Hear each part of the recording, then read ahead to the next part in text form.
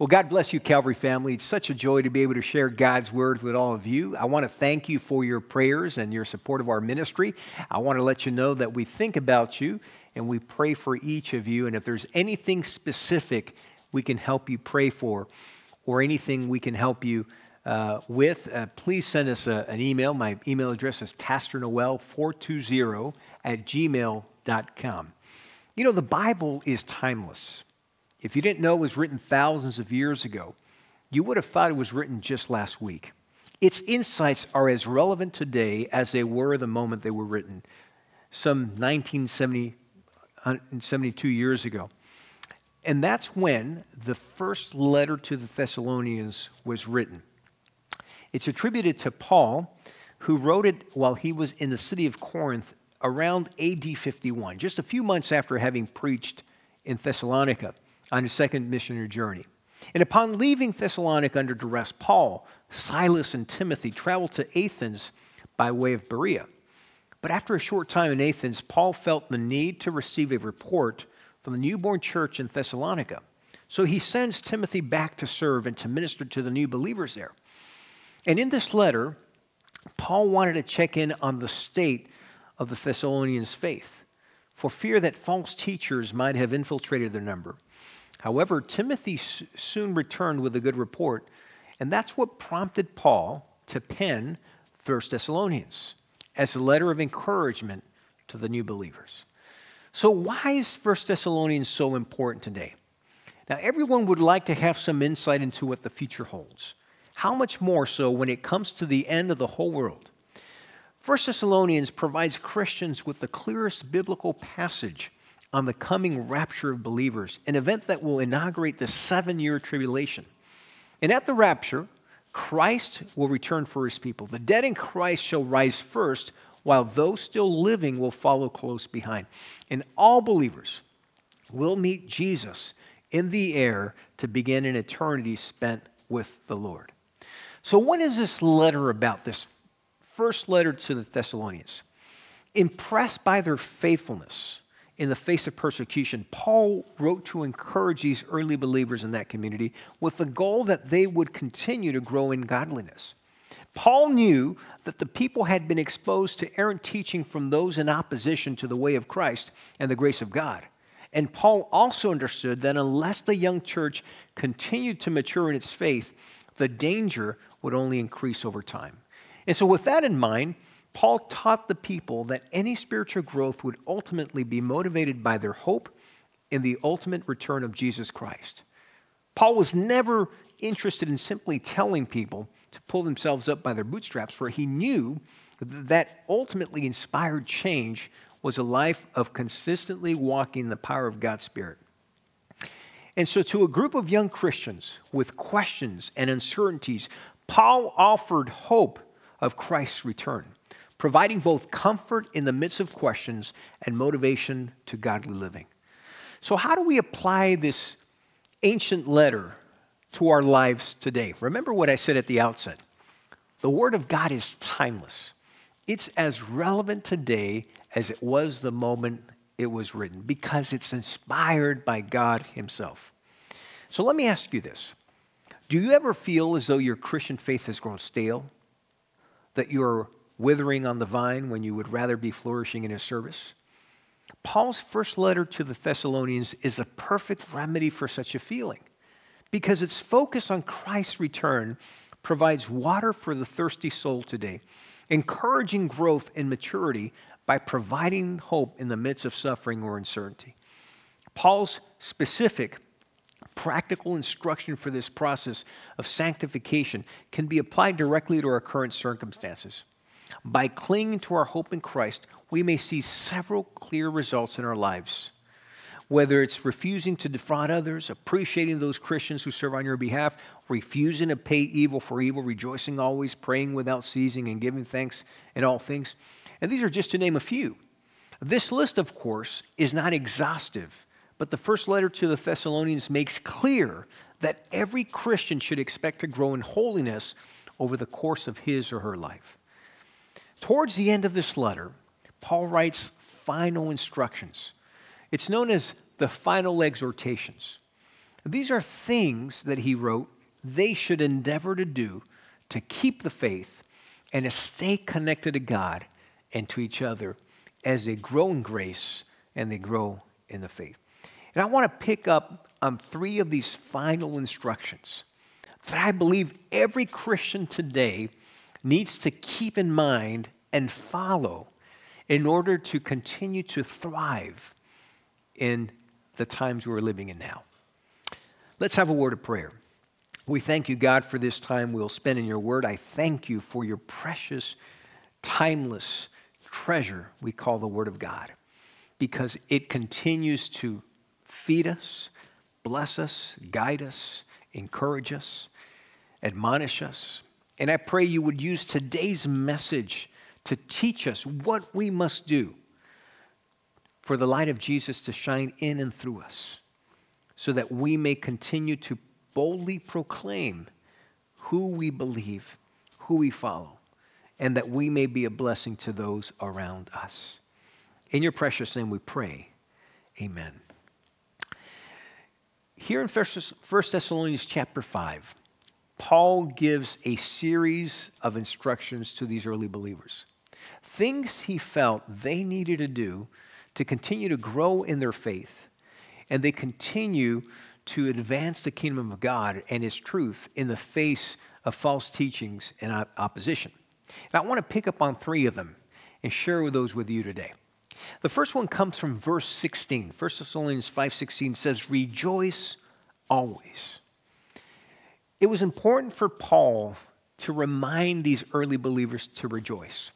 He knew that they were facing opposition, they were facing the threat of persecution, they knew that false teachers and false teachings had begun to penetrate the early church, and it was important for, for them, yes, to have hope in Christ, and yes, to continue to grow in their knowledge of the Word of God, but it was equally important that they remain in joy, in the joy of Christ, to experience the fullness of God's joy in their life. So he says, rejoice always. Rejoice in all circumstances, rejoice in all environments. In other words, don't let the things that happen externally, the unexpected, unforeseen, unplanned, those things that can knock anyone down, don't let those things rob you of your joy, steal your joy. You know, God, um, one of his promises to us is that we would live a life of joy. In fact, joy is one of the attributes of the Spirit, uh, the, the, the gift of the Spirit.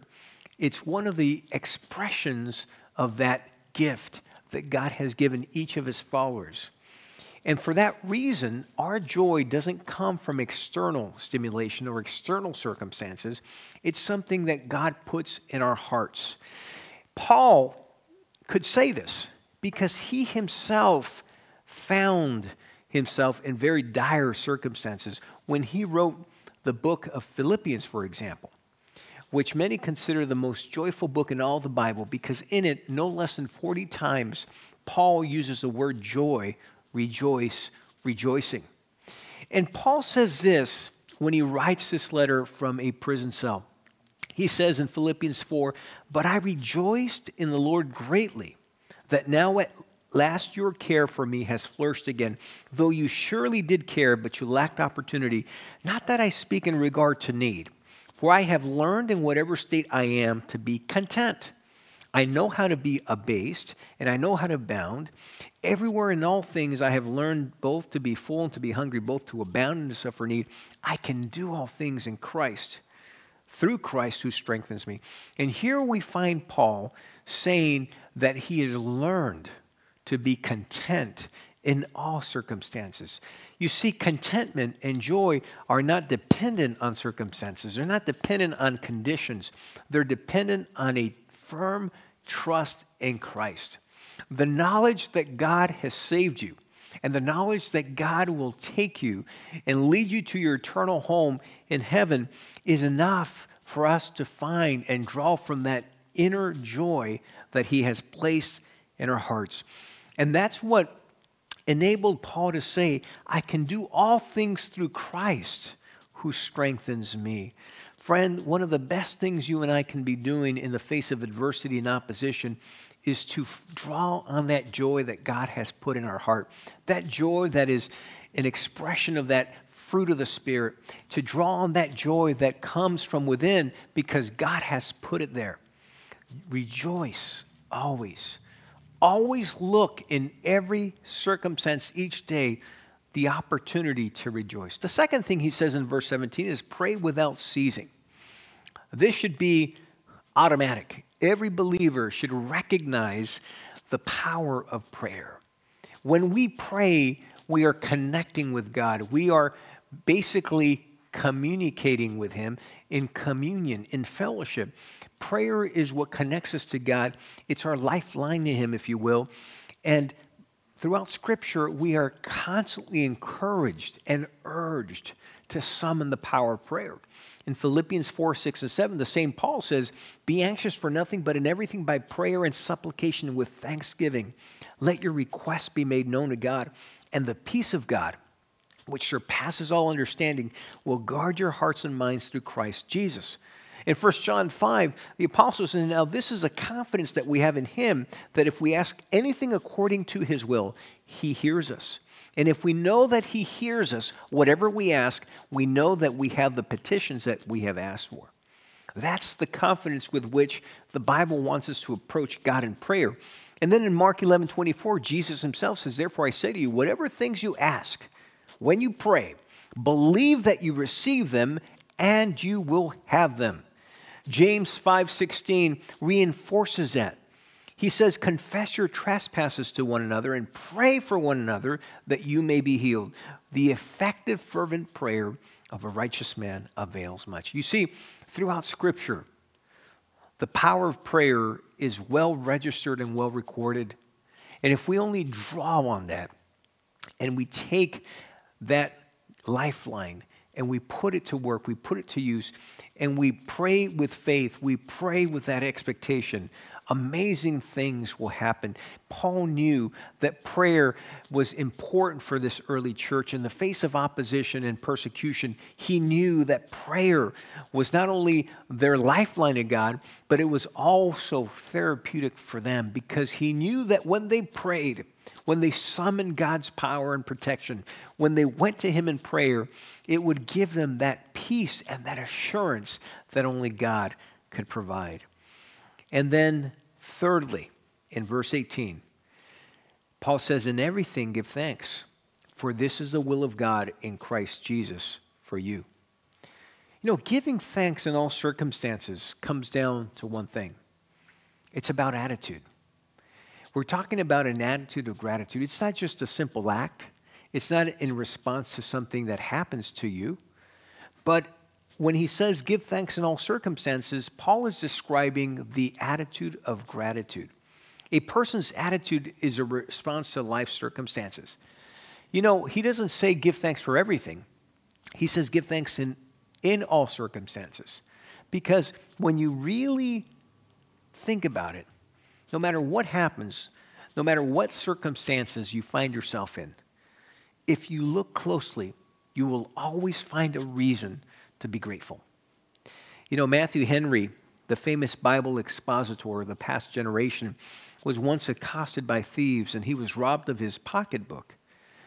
And this is what he wrote in his diary following this dramatic experience. He said, Let me be thankful first because I was never robbed before. Second, because although they took my purse, they did not take my life. Third, because although they took my all, it was not much. And fourth, because it was I who was robbed and not I who robbed. That's an illustration of what it means to be grateful in all circumstances. To find reasons to thank God despite your circumstances. And I think all of us, whatever circumstances we find ourselves in, can follow the example of Matthew Henry and so many others that have come before us. And always have an attitude of gratitude because that attitude of gratitude will help us to recognize God's faithfulness, His blessings, and how much He loves us. when you consider his faithfulness and how much he blesses you, you get to understand the enormity of his vast love for you.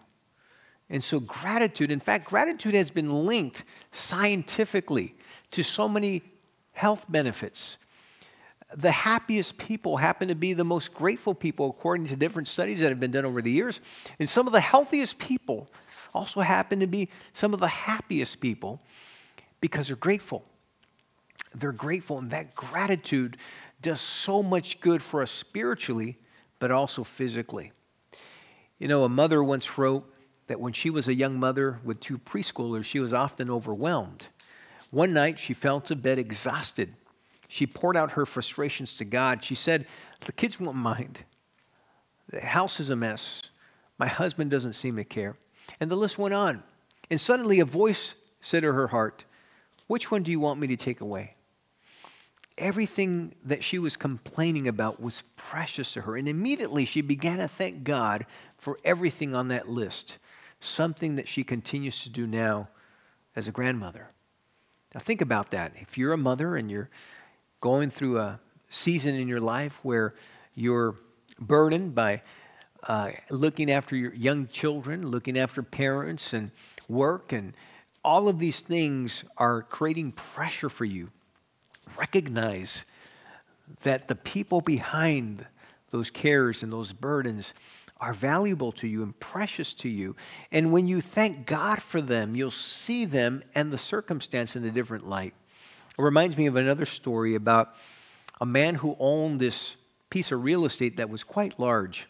It was on a large acreage. And the house was beginning to run down and it needed uh, maintenance. It was neglected for years. Um, and this man looked at the pool and he noticed that the, the pool was, the water was not clean and it hadn't been filtered. And then he looked at the grass and how grass and the weeds were growing. And he looked at the house in disrepair. And he summoned the real estate agent and he said, Hey, I want to I want to sell this property. Help me to sell it. And so the real estate agent asked this man to describe the property to him over the phone, in which he did. A day later, the real estate agent calls this man back and says, I've got the ad, but I want to run, I want to run this ad by you before I post it. And the man says, Well, read it to me.